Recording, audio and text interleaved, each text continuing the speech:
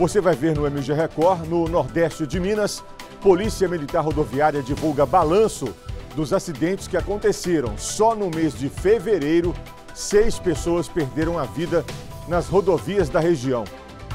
A TV Leste volta ao bairro Vila Rica, em Governador Valadares, onde um homem morreu esmagado por um caminhão. O especialista aponta possíveis falhas de sinalização no local do acidente.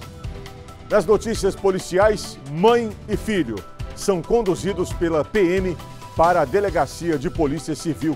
Os dois são da cidade de Sobralha. Secretaria de Saúde de Governador Valadares realiza mudanças no setor de entrega de remédios pela Farmácia Central.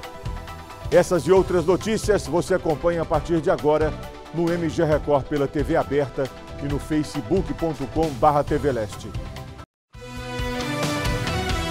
MG Record